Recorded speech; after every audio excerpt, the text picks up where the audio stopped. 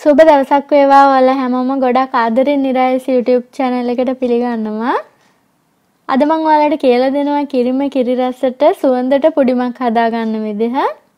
අමුද්‍රව්‍ය තුනක් විතරයි ඕන වෙන්නේ. ඉතින් මේ බලන්න ඕනම උත්සව අවස්ථාවකට හොඳ ලස්සනට හදලා තියන්න පුළුවන් මේක. මේකට බිත්තර එකතු කරන්නේ නැහැ, කෝන් ෆ්ලා එකතු කරන්නේ නැහැ. හරිම ලේසියෙන් හදාගන්න පුළුවන්. ඒ වගේම මේක සෙට් වෙන්න අපි ෆ්‍රිජ් එකේ තමයි දාන්නේ. ෆ්‍රිජ් එකෙන් එළියට ගත්තාම මේක දිය වෙන්නේ නැහැ. ගොඩක් වෙලා එළිය තියාගන්න පුළුවන්. මේක දාන ගෙදරකට උනත් හදලා දෙන්න පුළුවන් ඔයාලට. අනිත් එක තමයි ඔයාලා තේ කඩයක් කරනවා නම් මේ වගේ දේවල් බත් කාලා කන්න හදලා තියන්න පුළුවන්. පොඩි අයත් ගොඩාක් ආස වෙනවා මේකට. මේක හරිම රසයි. මේකේ විශේෂත්වය තමයි ඔයාලට මේක පොල් කිරි වලින් නැත්තම් පිටි කිරි ටිකක් දිය කරලා ෆ්‍රෙෂ් මිල්ක් වලින් ඕනම කිරි වර්ගයකින් හදාගන්න පුළුවන්. මෙතන මම කිරි මිලිලිටර් 650ක් අරගෙන තියෙනවා. කිරි ටික රස්නෙන් නෙමෙයි අරගෙන තියෙන්නේ. ගොඩක් සීතලටත් නෙමෙයි. කාමර උෂ්ණත්වයෙන් වගේ තමයි ගන්න ඕනේ. ඔයාලා පිටිකිරි ගන්නවා නම් පිටිකිරි මේස හැඳි තුනක් වීදුරුවකට දාලා උණු වතුර මිලිලිටර් 100ක් දාලා දිය කරගන්න. ඊට පස්සේ ඇල් වතුර මිලිලිටර් 550කට ඒ උණු කිරියක එකතු කරන්න. එකතු කරලා දිය කරගන්න. කිරියකට මම ජෙලටින් මේස හැඳි දෙක හමාරක් දාගන්නවා. ජෙලටින් ඔයාලට ෆුඩ් සිටි වල ගන්න පුළුවන්. මම දැන් මේකට සීනි කෝප්ප භාගයක් එකතු කරගන්නවා. මීළඟට මම රෝස් සිරප් එකෙන් මේස හැඳි දෙකක් එකතු කරලා දිය කරලා බලනවා.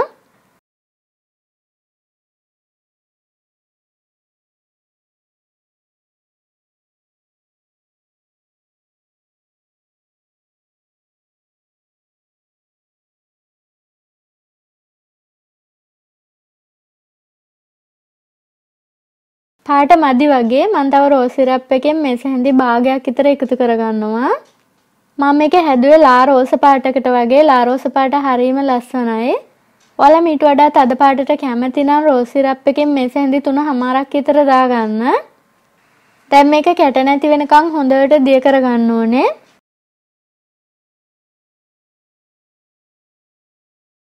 මේක තමයි මම පුඩින් එක සෙට් වෙන්න දාන්නේ. ඔයාලට රවුම් හැඩේ එකකක් දාන්න පුළුවන්. ඉතින් මම මේකේ පොල් තෙල් ටිකක් හොඳට ගා ගන්නවා. දැන් මම මිශ්‍ර කරගත්තු ජෙලටින් කිරි මිශ්‍රණය චුට්ටක් රත් කරගන්න හදන්නේ.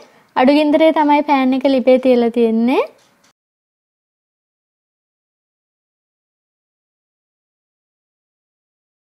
කිරි මිශ්‍රණය මම මේකට දාගත්තා. දැන් මම මේක හැඳි ගගා විනාඩි දෙකක් තුනක් තියාගන්නවා. ඔයාලට චූටි ඇඟිල්ල දාන්න පුළුවන් වෙන රස්නෙට විතරක් මේක රත් කරගන්න. රත් වෙනකොට ඔයාලට පේනවා ජෙලටින් ටික දිය වෙලා කිරියක හොඳ ක්ලියර් වෙලා තියෙනවා. අනේ වෙලාවට ඔයාලට පුළුවන් ලිපෙන් බාලා මේක පෙරා ගන්න.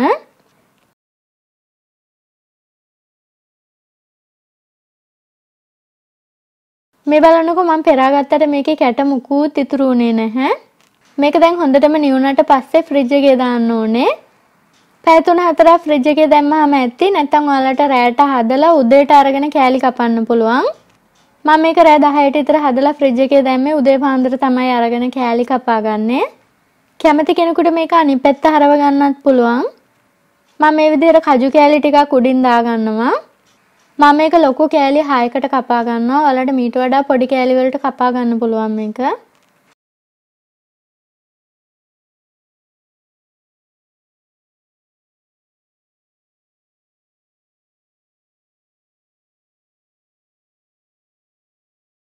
මම ඔයාලට කෑල්ලක් අරගෙන පෙන්නන්නම් මේ බලන්න හරීම රස පාටට තියෙනවා.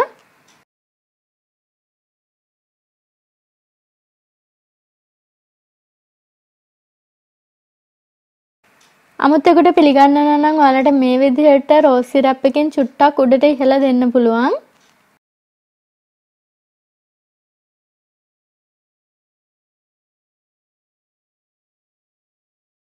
රෝස් මිල්ක් වලට කැමති අයට මේක හදලා කන්න පුළුවන්.